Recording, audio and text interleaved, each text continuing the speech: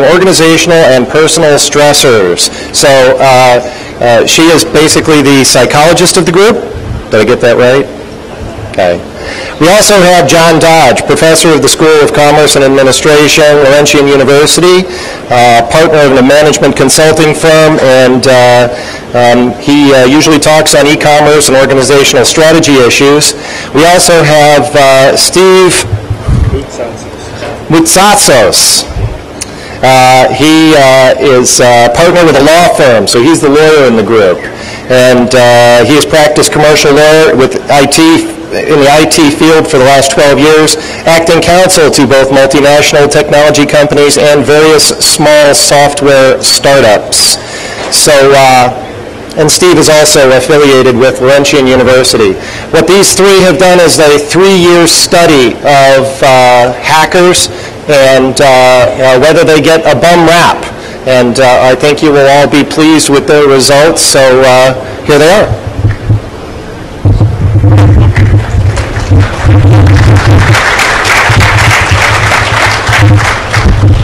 Um, Thank you very much.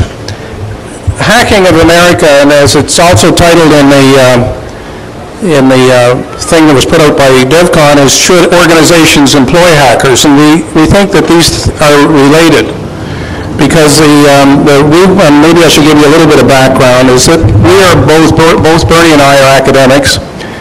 We've undertaken a, a a study that we have funded through a very small research budget of our own. It's, uh, the university gives us a bit of money, and we, we, we can commit it to whatever project we want without their interference. So we decided to go ahead and do this. So, and we've also dipped into our pockets a little bit to cover additional costs, because we did not want to seek outside financing or to seek proposals. So the, the research that we've done has been, been completely independent. You may not or may like the results. It, it, it's very defensible and we think very independent. I just want to get that very clear in the initial stages. Um, we, uh, Bernie and I worked together at Laurentian University in the School of Commerce, and now Bernie has gone on to be dean at a new university in Toronto, and she's, uh, we're sorry to lose her there, but she's, um, we're very happy to work with her on this project. The, the thing that we've found here is that we were funded, we were interested in, a, in the research area, and that we really were helped by a number of students, and particularly uh, uh, Kevin Ellis and uh, Jana Lahaki, that were really uh, instrumental in helping us collect some of the data. We came to uh, H2K two years ago in DEF CON, and we uh, had a booth set up in the vendors area where people came around and, and actually committed quite a bit of time, at least a half an hour, to fill out self-reporting questionnaires. It's, uh, so we think it's, uh, it, it's quite reasonable to, to, um, to present you with some of the data and some of the background material that we found. So moving on, I'll ask uh, Bernie to go to the next slide. One of the motivations of this study is that there's a lot of um, myths out there in the community and society in general. Are hackers, for the most part, criminals that should be feared? Or are they feared? And of course, that they are feared some ways by society. Um, The question is, are we terrorists? Are we, if, as a hacker, are they considered like terrorists? In fact, some people would classify hackers in the same group, um, fearing some kind of internet Chernobyl um, or some other catastrophic event. Um, The other thing is that uh, we- we- if we give- gave hackers clinically derived psychological inventories, what would their answers be, say about their dangerousness? So we wanted to actually find out how dangerous are hackers. We, enough of the myths, so we said, let's move on from the myths and try to find out the reality check. Um, We define hackers in this case as pe- persons who spent, uh, who over time have enjoyed learning the details of computer systems and how to stretch their capabilities, as well as those who have, and a number of items that I'm sure you're familiar with, gained unauthorized access to computers and, uh, and so on. I don't think it's worthwhile to dwell on what a hacker is here. The instrument used was a uh, 22-page questionnaire. It had five parts in it. The five parts were, uh, first part was on demo, uh, hacker demographics, basically sex, age, income levels, all of that uh, kind of thing. Uh, one tidbit that you would uh, like to hear, maybe that's not included in our speech, that uh, hackers are well above the median income for those employed, a very successful financial group in general. Um, The hackers, the second part was on uh, short-term issues of mind-body symptoms. Sometimes you might be under certain kind of stressors, um, and that your body's reacting to that stress, and we wanted to verify what, uh, what amount was, uh, how those were linked, and that's short-term. The other three parts were really long-term um, uh, personality issues here. The the first one relates to routine behaviors, and how, and that reflects some of your personality, uh, your likes and dislikes, and we used um, well-recognized and accepted um, instruments for these. The third one was, uh, um, was uh, used, uh, was Rowe's uh, Leadership Style Index. We wanted to compare you to, to uh, business um, people and how they manage, and so the, how do you solve problems, and are they related to business managers? So we wanted to compare you to business manager set. So item four was really personality issues relating to how you manage people and, or businesses when you do research, you've got to go back and say what's been written so far and what, what other research has been done. The, best comparison base that we can find was done by Shaw, Post, and, and Ruby in 1999, and it was a study of convicted hackers that were working on the inside of organizations. This was a forensic study uh, that basically went back and tracked the issue afterwards. Rather interesting is although they, I thought they came up with some very good results, they didn't talk to any of the hackers themselves. This all came from evidence given a trial and other aspects, so one has to weigh it uh, on the sources of that. Um, What they did find is that uh, they said that they're introverted, more comfortable in, a- in um, their own mental world than a more emotional and non-predictable social world. They have a history of significant family problems. Uh, These are the convicted inside hackers, especially in early childhood, leaving them with negative attitudes towards authority. Uh, So you can see that can happen. And have online computer dependency that interferes or replaces social interactions in adulthood, basically spending uh, maybe a little too much time on the computer um, More about the insiders, they have an ethical flexibility that allows them to justify any violation, uh, that's rather typical, have a strong loyalty to their computer specialty, in fact, far more to their computer specialty than to their employers, and had, and this you've got to remember, is was done in the context of an inside convicted hacker, and so they would obviously violate that. Had a They also had a sense of entitlement, thinking that they are special and are earned recognition, privileges or exemptions to normative rules uh, governing other employees. Basically, they should have special rules attached to them.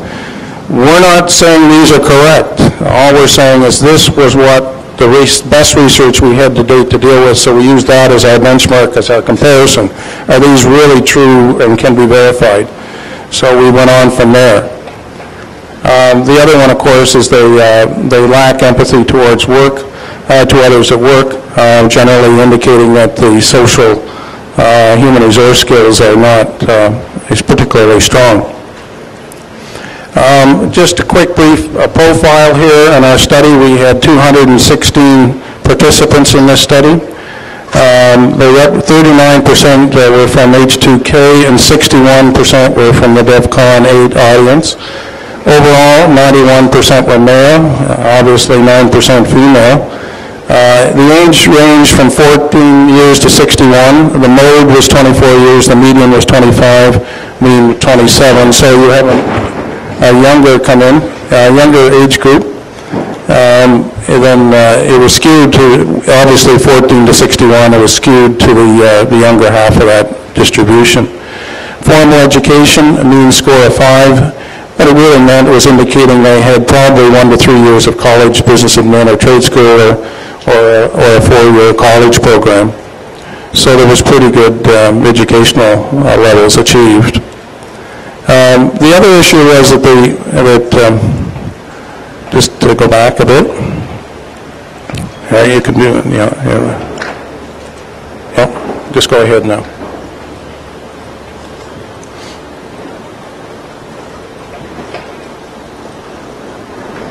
You'll notice that we're using a Corel product. We just try to keep away from Microsoft. We know we all love, learn to love and hate.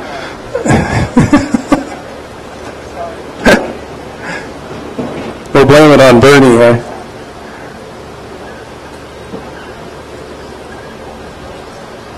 Um, The uh, sample contained those charged with hacker-related crimes. There was 9% were charged with hacker-related crimes out of the uh, 216, and of those that served sentences uh, for such was 32%. So basically, a third of those charged uh, uh, were uh, actually served time. Uh, The sample also was rather interesting, contained uh, 18% had crimes of another nature, non-hacking related, and they served sentences 48%. So it's rather interesting, the conviction rate was higher on the non-hacking than the hacking, but it also reflects the fact that uh, they had more other activities going on that uh, brushed with the law. Um, The male hackers tended to be employed by larger companies, uh, though they're not really large companies. They had about 4,200 employees. Um, The hackers uh, charged, the hackers charged of hacking-related crimes tended to work in small companies, about 56 employees. So it's rather interesting that the, uh, with larger companies, they probably had more sophisticated human resource um, selection processes, and, and people in human resource areas may not have wanted to take a risk on a hacker and immediately admitted, a- a- a- re- re- removed that from the list. But this is including everybody that was uh, charged and not charged, by the way. The female hackers tended to work in, in smaller companies of about 1,400 employees. And uh, I think now we move on to uh, psychological aspects of the hacker, and I'll turn that over to Dr. Bernie Schell here. Bernie? Hi, Thanks a lot, John. Uh, At any point in time, if you don't understand um, some of the terms I use, just raise your hand and I'll try to explain more fully. And uh, of course, uh, in our book, we uh, go through chapters and chapters explaining what each of these psychological items is all about. We'll start uh, at the very beginning, again, uh, going back to the research of Eric Shaw and his colleagues. Uh, A reported um, early childhood traumatic series of events, uh, and uh, when we asked the 216 people uh, in our sample if they had experienced significant childhood trauma such as loss of a parent through divorce or death, uh, the loss of a sibling, uh, abuse of one form or another. Uh, Almost a third of the respondents said that they had experienced uh, those sorts of uh, traumatic events in early years. Uh, Probably of more importance to us, um, not just the percentage of respondents who came forward talking about these painful events, but the uh, important assertion that over 60% of those who had experienced such events uh, said that they had uh, long-term negative impacts on their thoughts and behaviors. And so we wanted to look more closely at the the data to find out um, what exactly they were suggesting those long-term impacts were. Um, In terms of gender differences, uh, female hackers in particular were more likely to admit experiencing childhood trauma. Although what we found, John and I, when we did face-to-face interviews at at H2K, uh, that once we got people to trust us um, with the interviews, well, they would not, you know, initially admit that they had some traumatic events, later on, uh, they would talk about what had happened to them.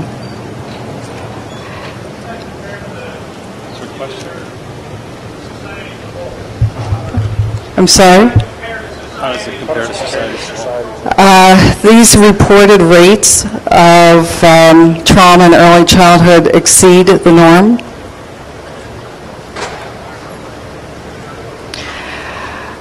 Okay, now, we were also curious about the reporting of childhood trauma for those who had been charged versus those who had not been charged, and for the younger versus older, and we didn't find any significant differences. We then move on to how the respondents said they were able to cope with distress. uh, over a- two-week period, um, just before they um, completed the inventory. And we used the symptom checklist that was developed by Derogatis and and his colleagues in 1974. And um, the scale that we used was a zero to three scale. Zero meant that uh, over this two-week period, uh, individuals weren't experiencing uh, the usual symptoms of stress, like nausea, difficulty concentrating, that sort of thing. And uh, at the higher end, two or three meant that they were experiencing extreme bouts uh, and extreme intensity. So what you have here for the 216 respondents, um, mean scores on various clusters of uh, stress symptomology.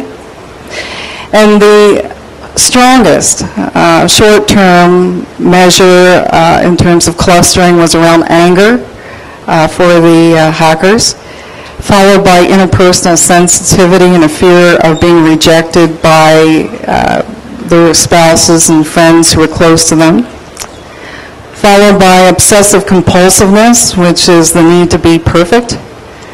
And then we have somatization, um, that basically is mind-body disorder. So I might ask you, are you feeling stressed out today? And you might say, no, Bernie, I'm not. And then I'll say, well, uh, have you ex- been experiencing any sort of health issues? And you might say, well, you know, when I think about it, my migraines have been worse the past couple of weeks. My arthritis has flared, my asthma is worse. These are all indicators of uh, somatic outbursts of distress, so that you may not verbally think or report that you're distressed, but your body says otherwise. And finally, we have anxiety, just, you know, having this need to run away and to, um, to avoid what's going on in the world. Okay, uh, now, again, we were curious about that long-term impact of trauma on individuals, and what we found over and over again as we worked through the analyses, that the hacker community um, really uh, fears that uh, they are going to lose their friends. They have difficulty with um, interpersonal relationships, and they have a hard time processing interpersonal misunderstandings. And in fact, we found that the strongest correlation with anger was this interpersonal sensitivity item. Uh, There was a gender difference here in terms of distress in the short term, with women reporting significantly higher anxiety and somatization stress symptoms than their male counterparts. We then get into uh, the under age 30 hackers versus the the older, uh, over 30 hackers, and the younger people were reporting significantly higher anxiety and depression. Uh, And um, I I might add to a point that we would suggest that they were suffering from clinical depression. We then went on to look at um, the degree of computer addiction that allegedly exists within this population. And we used as a basis Dr. Kimberly Young's research. Um, Basically, what she said is, we we know that we have someone who's online addicted when they spend over 30 hours online. And uh, what we found for hackers, uh, that they reported spending on average 24.45 hours online, which does not qualify them, at least with this indicator, for computer addiction. Per week, yes. Again, Dr. Young went on to say that um, if you are computer addicted, uh, you will have a disrupted sleep cycle, and uh, namely that you get fewer than six hours of sleep per cycle. And what we found was that our hackers didn't report that problem uh, overall, but in fact, they were getting on average 6.26 hours of sleep. The under age 30 group, however, uh, did appear to be the most addicted to their computers. Um, They did report engaging in hacking sessions lasting over eight hours, and um, they did report uh, spending over 30 hours per week on online. We then looked at various personality indicators. Um, I had addressed these same indicators and corporate leaders and wrote about that in Management in the Mirror book. I also looked at these uh, predispositions in um, stalkers and uh, wrote about those predispositions in a stalking book. And now we, we come to uh, the hacking population and how they see themselves, their long-term routine behaviors over time. And uh, the highest score that you could get on any one of these personality indicators is 10. Any score 5 or higher we consider to be a significant uh, predisposition in individuals' personality types. And what we found is, contrary to the myth uh, that hackers or the hacking community seem to be other destructive, we found that the majority, the, the number one trait was that hackers are self-healing, what we call self-healing type 4s. They're balanced, actually, um, on their task needs and on their, their people-related needs. And that keeps them going over time, just like the Energizer battery. Funny. Then the next interesting point, the indicator that was over five uh, for the uh, hacking population was what we call the cancer-prone type 5 predisposition. This is what we would call a, a noise-in or a noise-denying uh, lifestyle. And in fact, um, it, it became clear to me that uh, some of that trauma that was experienced in early childhood um, was repressed. And um, the style that these children, uh, I guess, uh, adopted in, in childhood to cope with what was going on in the home environment around them, uh, traveled with them into adulthood. Now, the um, long-term prognosis is that uh, the, the longer one stays in a state of noise denial rather than working through whatever is bothering you constructively, uh, puts you at risk for developing cancer. Um, just below the five level was another what we call uh, the uh, harmony desiring cancer-prone type 1 predisposition. So what we have here, strong self-healing followed by noise in and a, a cancer-prone prognosis over the long term.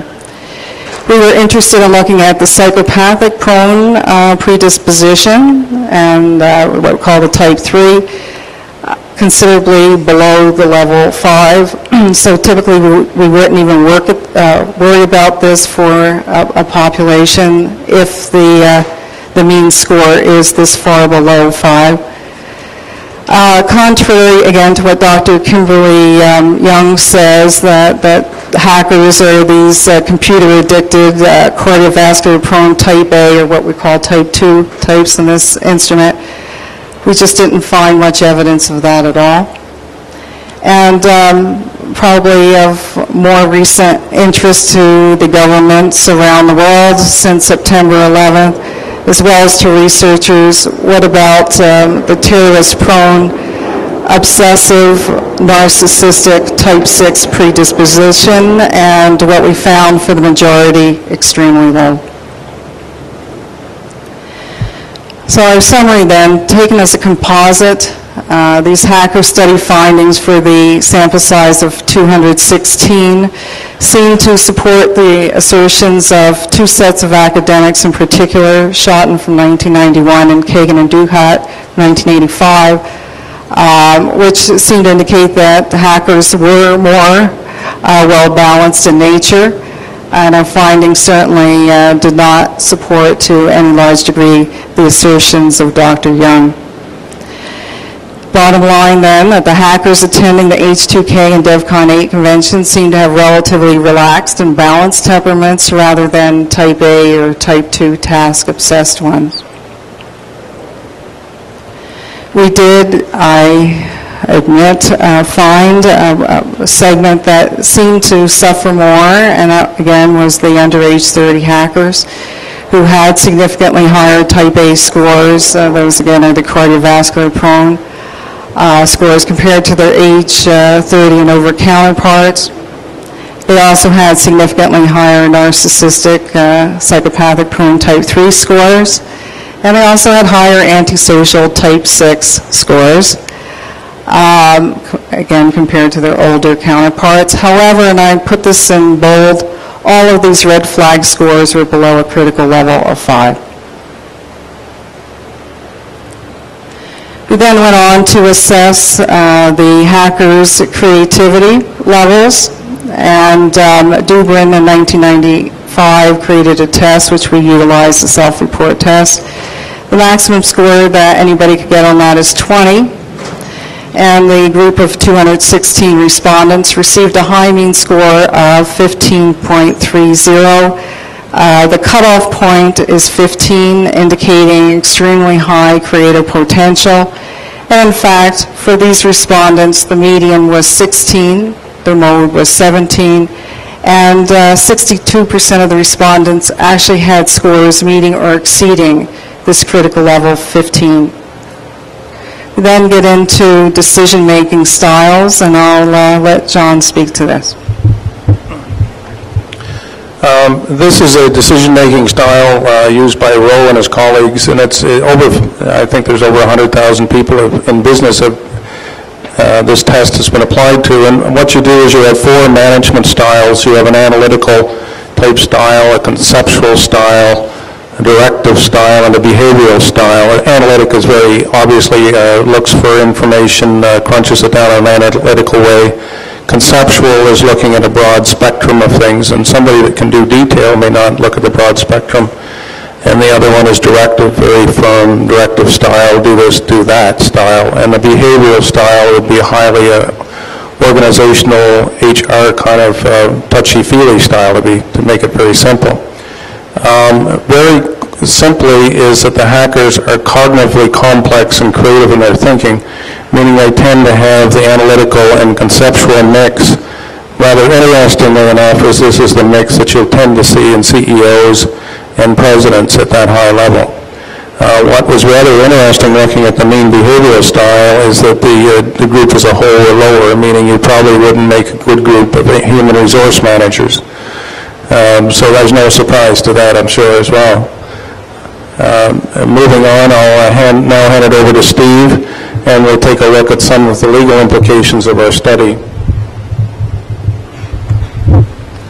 Thanks, John. Uh, uh, the- This presentation will focus uh, more on the economic, social, and uh, political context of anti-hacking laws as opposed to uh, black letter law.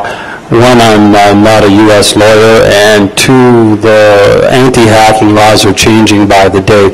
So I think in in order to put this into a a better context, it's it's more important for us to understand what's um, shaping and motivating these laws. And although it's no longer fashionable to um, uh, cast debates in an ideological context since the end of the Cold War, I think in order to properly um, understand this debate, you have to look at it from uh, uh, an ideological perspective. And to that extent, what we see here is that the uh, criminalization of hat hacking represents a struggle between two competing uh, paradigms over the control of information and knowledge. Um, On the one hand, uh, there exists what we'll refer to as the property rights or property paradigm, uh, and that contains certain fundamental tenets of our society that uh, private property rights deserve the protection of the law, to paint a very broad brush. Uh, As in most industrialized uh, nations, moving to a post-industrial phase, information technology is becoming more important, and the protection of intangible property rights uh, and their security uh, of electronic infrastructures is critical. Now, the proponents of the property rights uh, paradigm are ourselves. In many instances, it's individuals trying to protect uh, artistic creations, uh, their privacy, uh, but it's also uh, institutions like government and corporations concerned about national security, uh, security of infrastructure, or the security of e-commerce transactions, for example. In terms of who's driving the property rights or property paradigm agenda, it's per- it's primarily corporations and state entities that have taken the lead in advancing uh, the property rights paradigm. And we see that in in criminal prosecutions uh, that that you're all familiar with, and as well increasingly now in the civil action uh, context. Uh, One example would be the Napster litigation.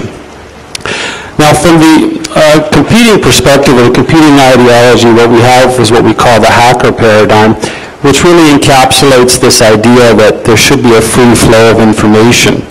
Uh, The hacker paradigm itself has a sound, very sound ideological base. It's a fundamental tenet of our society as well, uh, that in order to advance uh, knowledge, uh, information should be shared. And I think it could be argued that it- it it may have even uh, a stronger base. Uh, Examples of this would be the recent announcement by MIT to have open courseware, and the um, manifestation of of the hacker paradigm arguably is in the hacker attack itself. Now, in order to try to understand uh, what's happening in the legal context, um, we try to try to look for some analogies, and these are not analogies that, you know, we've necessarily come up with. I mean, people talk about it all the time, uh, the electronic frontier. And the electronic frontier has a lot in common with uh, the old, I guess, frontier being the Wild West. Uh, We're here in Las Vegas, which is quite uh, fitting, I suppose. And the parallels with the Old West uh, are very striking, uh, both from a practical level and a legal level. Uh, What you have is you have new technologies allowing communications, travel, work, exploration. Uh, In the Old West, it was the railway, now it's the internet. You have huge fortunes being made, uh, innovation risk-taking are being rewarded on a scale previously unimaginable. People and technology finds itself ahead of the law. Uh, The frontier attacks, attracts all sorts of people, good people, bad people, the ugly. Uh, And monopolies are created, uh, antitrust challenges uh, result. So what results is what we characterize as a disorder to order equilibrium. And as the frontier becomes increasingly disorderly, uh, and as in the frontier, in the Old West, it was that there's, you know, a lot of good real estate, resources, uh, and the value of the electronic frontier is obvious. The need, there is a need to bring impetus uh, for the state is to create blunt instruments of justice, and you get the common notion of what we call frontier justice, and this need to make, um, accordingly, there's a scramble to establish new laws and law enforcement agencies to deal with these issues. Now, in order to assess the reasonableness of, of any law, um, and I think that's the case with the electronic frontier. Uh, I think most observers would argue that there's probably been an overreaction in terms of the legal response, and I, and we, we're going to look at what the drivers are that for, are. Basically, uh, we perceive the three main drivers for anti-hacking laws, one being national well-being, which is obvious, uh, a secure uh, electronic infrastructure is critical to the um, health of um, our economy and our society. Uh, The second driver would be a lack of understanding. For the most part, I think lawmakers, uh, law enforcement, uh, although they have an understanding, probably don't understand uh, this area nearly as well as perhaps you do, or maybe none of us really understand exactly what we're dealing with. And the third driver, which uh, derives from lack of understanding, is fear, and this essentially drives this, um, th- this overreaction. And as a result, you have the criminalization of many uh, white hat hacking activities. Now, uh, Oh, it's okay, Uh, you took away my thunder, Bernie. Uh, but I was, Bernie, the slide said basically no justice without knowledge. And part of the, the concept of, of justice, in order to have uh, an informed debate about what law is reasonable, uh, people, society, lawmakers have to have a very clear uh, and unfettered understanding of what the issues are. And, you know, we see this in debates that are occurring in our society where the issues are fairly clearly understood. Legalization of marijuana, abortion, capital punishment, these are issues which most people understand, and even there, we have a real difficulty in striking a fair balance. So in a situation uh, like hacking, unfortunately, there's not this clear understanding. Uh, People are being motivated in many instances by fear. So uh, our hope is by uh, undertaking this study that we'll be able to shed some light uh, on, on the hacker community, in particular the differences between the white hats and the black hats, and this will, should, uh, we hope, uh, influence um, lawmakers and law enforcement uh, in a positive direction. Uh, Benny, I'll pass it back to you. Okay, so our bottom line uh, that you will be seeing if you uh, read our book is that hackers are getting a bad rap. Uh, And that's unfortunate because society does covet hacker skills. Um, You have a lot of the talent that we seek in industry today, or I guess in recent weeks, accountants have been taking a a a tough rap themselves. Um, We go into detail in the book about is the vilification of the hacker community justified? We have a book filled with all sorts of cases, um, colleagues of of yours, I'm sure that you're familiar with, who've uh, given us details uh, to share, and then we we have analyses of those details and try to relate those analyses to our data. And um, we address uh, in the book this key question, should organizations employ hackers? And, um, well, I guess if we told you our, our answer to that, you'd never buy the book. um, now, I must say that uh, we had fully intended to launch our book here, as John had mentioned earlier, at um, DEF CON 10, and in fact, if it weren't for uh, uh, and uh, Dark Tangent, um, we never would have gotten as far in our data collection as we had.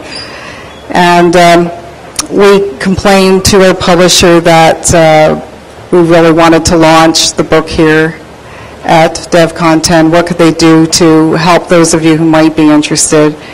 And so they've uh, agreed uh, to give a 20% discount to anyone attending here, and uh, we have uh, hundreds of sheets to distribute to you if, if you have interest in what it is we have to say.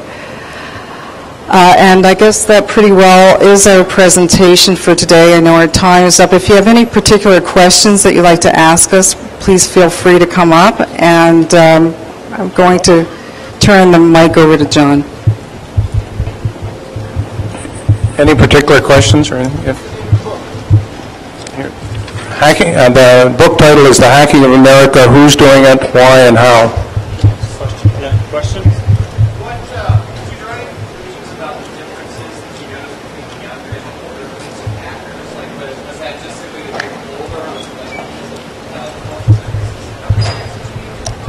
Yes, we do speak um, to a large degree about the differences. We looked at younger versus older, those charged of hacking-related crimes versus not, and then gender differences.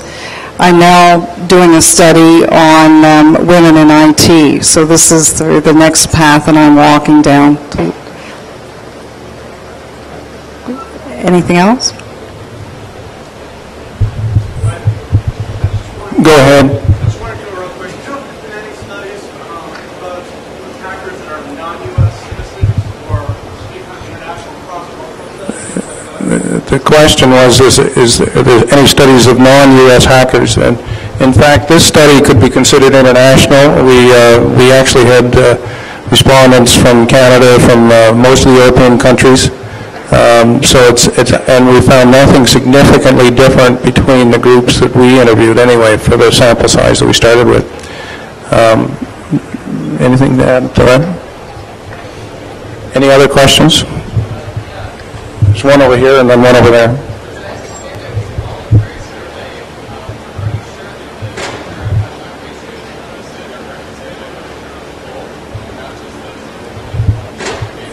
Uh, I'm not sure if I heard the question properly, but uh, the question is, is it's a self-reporting survey and whether it represents the total group? Is that, uh, um, there's always a question in research whether you're representing the population. Um, We had people volunteer from two separate groups, and they filled it out, and they spent a significant amount of time, a half hour, filling out. If anybody here did that, it's, it's it's not an easy questionnaire to do. We had uh, people that, uh, so it- we think it fairly represents um, the group that that filled out the questionnaire. uh, and we, that's the best available information that you can apply against the population, and I, but uh, until some other data collection management can be, can be done. There was another question, I believe, over here, and then we'll move over.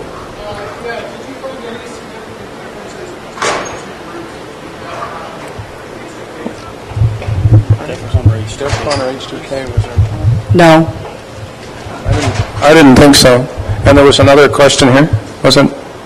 Oh, here, yes? You said that you um, interviewed students all on that sampling of the population. Uh, Why did you not pursue it uh, further than that? And also, the other concern is that you mentioned how many um, respondents did they raise Uh, The question is, is, is, I I believe relates to, is 216 adequate enough to give a valid response? I think that generally those that are on the statistical side, that generally you- you get your errors down reasonably on these kinds of instruments that are well-tested if they're, if they're anywhere over 100. So probably 200 is not a bad sample size.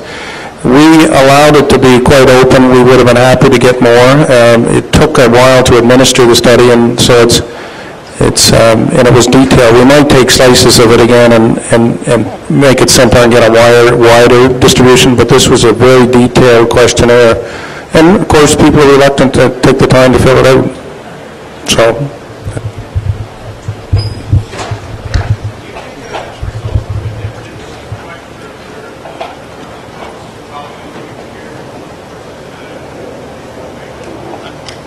I'm sorry, I Can you repeat the question? I believe the question was, would you, would the results have been different or better if you had observed people operating a computer than from filling out a questionnaire? Is that correct? Or interviewed them in the process of when they were on the computer? I think that um, what I was doing when I I held the interview um, with people is I made my observations at that point in time, uh, and John did as well. Uh, And I I don't have any reason to believe that um, people were faking the responses. I mean, we certainly have ways of looking for that in the data. And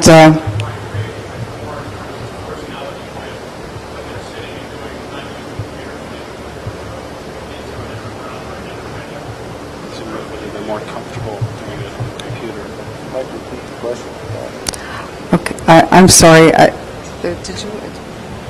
I I guess the the question was, is that i- i- would they, would they show different personality traits while they're on the computer than when they're off the computer? We don't know because we didn't do it. I don't have any uh, indicators to suggest that that's the case. That's a wonderful thing about research, you you never end, it, you know, it's academic pursuits. Is there a question from the back there, I guess? Yes? Yes? Yes?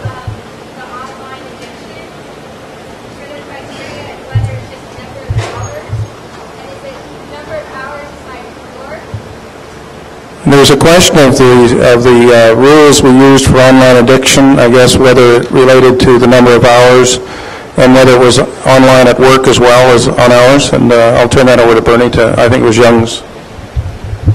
Yeah, no, it it really uh, doesn't matter, okay? Um, Young doesn't make that distinction, although the way we asked the question, the survey, we were able to uh, to to tease out um, whether people were answering strictly, you know, as a off um, employment uh, point of view or on the job as well. So we had a series of questions, I guess what I'm trying to say, that got at that issue. And uh, in the book, we we come at that uh, computer addiction from several different angles. Any additional questions? Thank you very much, and um, I'm glad to be here again.